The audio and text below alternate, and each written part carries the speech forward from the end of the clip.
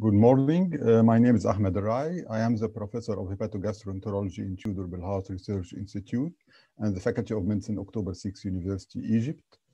I uh, want to thank Professor Patrick Marcellin, the president of the Paris Hepatitis Hepatology Conference and the organizing committee for inviting me to chair in this prestigious conference. I'm really happy that the chairperson of this session are Professor Marc Bourlière and Professor Graham Foster, and I want to thank them. Well, my presentation uh, is elimination of hepatitis C virus by 2030 realistic, uh, the Egypt experience. Uh, at May 2016, WHO set the target for elimination of hepatitis C virus by 2030. At that time, Egypt had the highest prevalence of hepatitis C virus infection, a consequence of the prevalence of schistosomiasis and its mass treatment by unsafe intravenous injection in the 1950 and to 1980. Well, uh, these are the milestones for hepatitis C virus treatment in Egypt. In 2006, there is establishment of the National Committee for Control of Viral Hepatitis and the start of the initiation of the viral hepatitis treatment centers. Uh, at this era, the only available treatment of hepatitis C, of hepatitis C, as, as you know, is pegylated interferon and ribavirin, with very disappointing result. In 2014, the branded DAAs enters Egypt, and in 2016, the generic DAA was available, either free or with, or with a low price, and were produced extensively. Uh, this could be considered the turning point of success of management of hepatitis C virus in Egypt. In 2017, surprisingly, the number of cases of hepatitis C virus were decreased and this uh, will lead to the launching of the first screening campaign. However, the largest screening campaign began at 2018. Well, uh, it is called the 100 Million Health Campaign, the screening and treatment of program to eliminate hepatitis C virus in Egypt. In early 2018, the Egyptian government decided to embark on a massive effort to identify and treat all hepatitis C virus infected persons to achieve disease elimination over the shortest time period possible.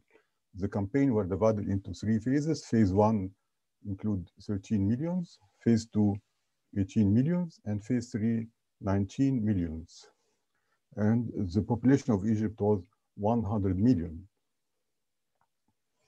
Well, uh, this is uh, the report published in 2008 by, uh, by uh, Professor Imam Waked in New England of Journal of Medicine.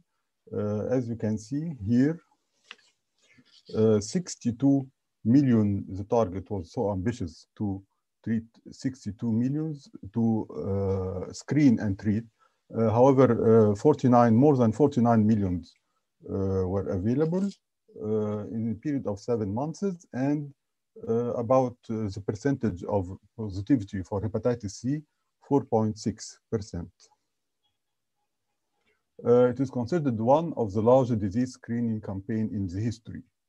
Uh, all patients were treated with sofosbuvir 400 milligram and daclatasvir 60 milligram with or without ribavirin for a duration of 12 or 24 weeks, depending on the presence or absence of cirrhosis.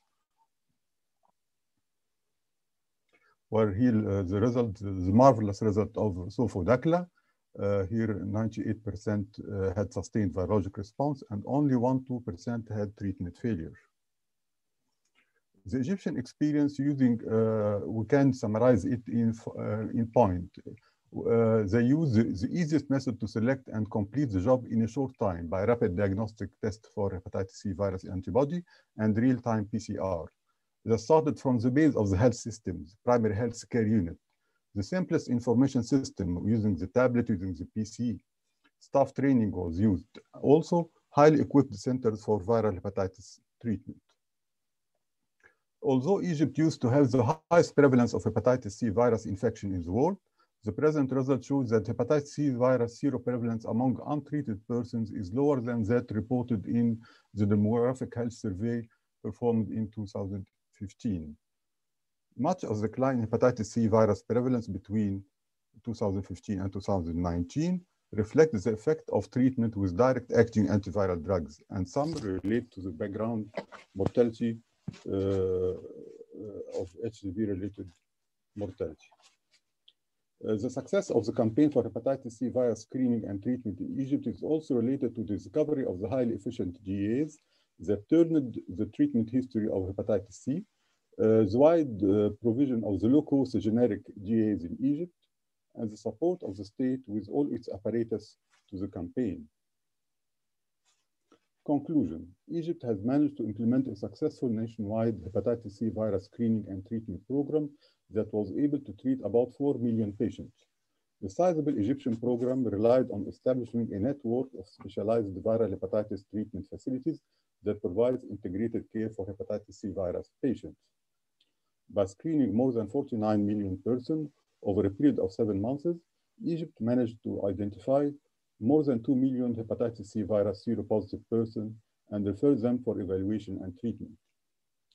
Identifying and treating all infected patients is a major step toward disease elimination in the country that used to have the highest global prevalence and uh, towards the first uh, national level elimination of hepatitis C virus infection.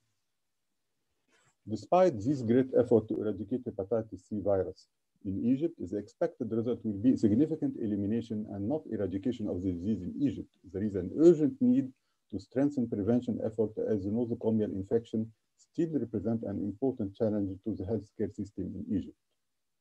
Thank you very much.